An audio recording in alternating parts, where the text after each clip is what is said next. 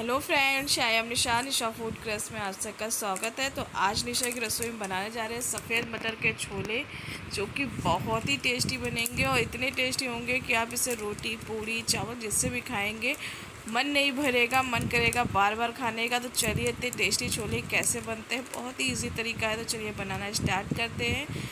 यहाँ पर मैंने सफ़ेद वाले मटर ले लिए, उन्हें भिगो लिए हैं और थोड़े से मेरे पास छोले रखे हुए थे तो मैंने साथ में दोनों चीज़ों को भिगो दिया छोले बहुत कम थे मतलब एक से डेढ़ मुट्ठी थे तो मैंने वो भी डाल दिया है। साथ में ये फूल गए हैं। आप रात भर के लिए भिगो दीजिए या सुबह तक के लिए सुबह चार पाँच घंटे के लिए भी भिगो सकते हैं। अच्छे से फूल जाएँगे, पानी को तीन चार बार वॉश कर दिया है छोलों को और उसको ले लिया है। यहाँ पे देखिए एक कुकर में हम सारे छोलों को शिफ्ट कर देंगे मतलब डाल देंगे, इस तरह से।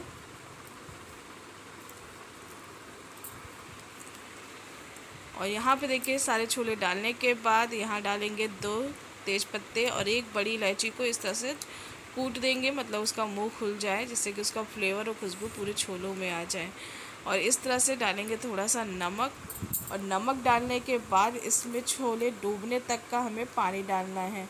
जितने कि हमारे छोले डूब जाए। तो यहाँ पर मैंने भर कर दो से ढाई ग्लास पानी डाल दिया है। आप देख सकते हो, ऊपर छोले के ऊपर तक का पानी होना चाहिए। इस तरह से नमक मिक्स कर लेंगे और उसके बाद इसमें ढक्कन लगा के, लीड लगा के हमें पाँच सीटी लगानी है। पाँच सीटी में हमारे छोले अच्छे से पक जाएँगे। पकने के बाद फिर हम इसको खोल के दिखाते हैं। तो यहाँ पर देखिए हमारे छोले बॉयल हो गए हैं। आप देख सकते हैं कि फट गए हैं। हमें इसी तरह से छोले चाहिए थे। तो हमारे मटन भी अच्छे से बॉयल हो गए अदरक और लहसुन को हम इसमें दरदरा कूट लेंगे। आप पेस्ट भी ले सकते हैं। मगर इस तरह से कूटने से इसका फ्लेवर बहुत अच्छा आता है। तो इस तरह से हमें कूट लेना है।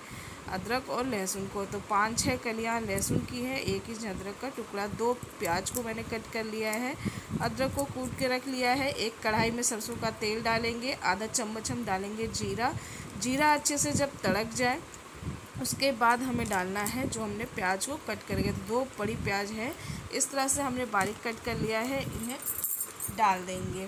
डालने के बाद हम इन्हें अच्छे से फ्राई करेंगे सॉफ्ट होने तक। हमें गैस का फ्लेम लो रखना है और प्याज को लो तीन मिनट लगेंगे प्याज को और अदरक लहसुन को भूनने, भूनते हुए।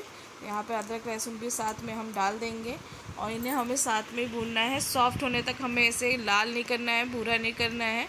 और बिल्कुल सॉफ्ट हो जाएगा पेस्ट की जैसे जब हम पकाएँगे तो ये ग्रेवी में मिक्स हो जाएगा पता भी नहीं चलेगा। तो यहाँ पे देखिए प्याज लहसुन अच्छे से पक गए हैं तीन मिनट में।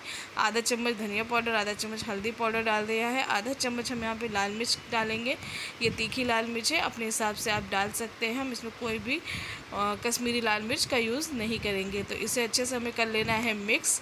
मिक्स करने के बाद हमने एक बड़ा टमाटर कट करा है उसे हम डाल देंगे इस तरह से। आप एक की जगह दो भी डाल सकते हैं जैसे आपको पसंद हो और आप चाहे तो टमाटर का पेस्ट भी डाल सकते हैं। हम फटाफट बनने वाले छोले की रेसिपी बना रहे हैं तो यहाँ पे हम कोई चीज़ भी कट नहीं करेंगे पीसेंगे नहीं। इसको बस इस तरह से मोटे मोटे टुकड़ों में कट करके डाल देंगे। स्वाद अनुसार नमक डालेंगे छोलों में। नमक उबालते समय भी डाला है, इसलिए ध्यान रख कर यहाँ पर हमें नमक डालना है। और टमाटर, प्याज, ये सब चीज़ें पता नहीं चलेंगे, एकदम पेस्ट से बन जाएँगे मतलब एकदम गल जाएँगे इस तरह से। और देखिए, नमक डालने के बाद जल्दी जल्दी टमाटर गलने लगते हैं तो यहाँ पर डालेंगे एक चम्मच छोला मसाला। छोला, चना मसाला कोई भी डाल सकते हैं। और नहीं है तो आप यहाँ पे सिर्फ़ गरम मसाला भी यूज़ कर सकते हैं। अच्छे से हमें कर लेना है मिक्स और उसमें डाल लेना है थोड़ा सा पानी, जिससे कि हमारे मसाले अच्छे से भुन जाए। तो मैंने आधा कटोरी करीब पानी डाला है और अच्छे से मसालों को मिक्स करके हमें ढक कर इसे पकाना है। ऑयल अच्छे से सेपरेट हो जाए और टमाटर, प्याज अच्छे से सब गल जाए पेस्ट जैसा हो जाए। तो हमें यहाँ पे चार मिनट के लिए ढक दिया है मसालों को और ये देखिए कलर और रोगन कितना अच्छा आया ऑयल सेपरेट हो गया और टमाटर बिल्कुल भी गल, बिल्कुल गल गए हैं। और इस तरह से मैशे कर देंगे तो यहाँ हमें पेस्ट बनाने की भी ज़रूरत नहीं पड़ी और हमारे टमाटर और प्याज अच्छे से पेस्ट बन गए हैं। और एक चम्मच डाल कस्तूरी मेथी, जिससे कि छोलों का स्वाद बहुत अच्छा आता है। ये मटर वाले छोले इस तरह से आप बनाएँ फ्रेंड्स आप सूखे ही खाना पसंद करेंगे कि सोचेंगे कि कटोरी में लें और इसी तरह से खाते जाएँ। मसाले अच्छे से मिक्स हो गए हैं मतलब कस्तूरी मेथी अच्छे से मिक्स हो गई तो पानी जो भी बचा था छोलों का, उसके साथ ही हमें डाल दिया है यहाँ पे छोले और ना छोलों को उबालने के लिए हमने कोई बेकिंग पाउडर या बेकिंग सोडा का ज़रूरत पड़ी। इसी तरह से छोले बनाएँगे आप, बहुत टेस्टी बनेंगे, बहुत ही अच्छे बनेंगे। बस पाँच सीटी ध्यान रखिएगा। एक सीटी हाई फ्लेम पर और चार सीटी हमें लो फ्लेम पर देनी है।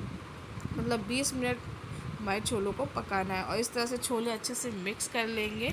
और मिक्स करने के बाद देखिए, इस तरह से दिखेंगे। अब यहाँ पर ग्रेवी के हिसाब से आपको पानी डाल लेना है। जितनी थिक ग्रेवी खानी है या आपको जैसी भी ग्रेवी खानी है, उस हिसाब से पानी डालिएगा। तो यहाँ पर हमने एक गिलास भरकर पानी डाल दिया है। और इसे हमें ढककर पकाएँगे, क्योंकि पानी पहले भी छोले में था। तो ढककर पकाएँगे पाँच छः मिनट। पाँच छः मिनट बाद ये देखिए हमारी छोले कितने अच्छे से पक गए हैं।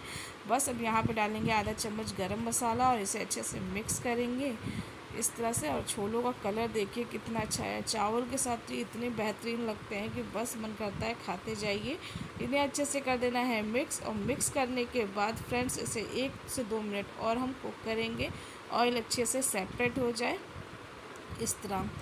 ढक देते हैं दो मिनट के लिए। दो मिनट बाद हम फिर से खोलेंगे और चेक करेंगे। बहुत ही सिंपल तरीके से हमारे छोले बनकर रेडी है, मगर स्वाद कोई भी नहीं कहेगा कि इतने झटपट और स्वादिष्ट छोले बने हैं। ये देखिए, इस तरह से हमने इसे मिक्स कर दिया और रोगन कितना बढ़िया आया है। अब यहाँ पर डालेंगे हरा धनिया और इन छोलों को गरम गरम ही सर्व करिए, खाइए, मज़े कीजिए। बहुत ही टेस्टी और स्वादिष्ट छोले बनकर रेडी हुए हैं।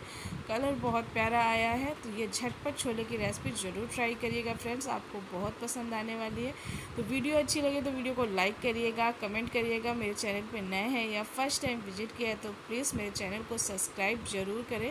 फ्रेंड्स, वीडियो को ला तो फ्रेंड्स, जो रेसिपी बिल्कुल सरल तरीके से आपको मैं बता सकूँ, वही रेसिपी मैं आपके लिए लाती चाहती हूँ कि आपको कितनी इजी तरीके से बता दूँ कि जो आप भी एकदम परफेक्ट बनाए, बहुत ही स्वादिष्ट बनी थी तो ज़रूर ट्राई करिएगा। मिलते हैं नई रेसिपी के साथ नई वीडियो में। Thanks for watching this video bye friends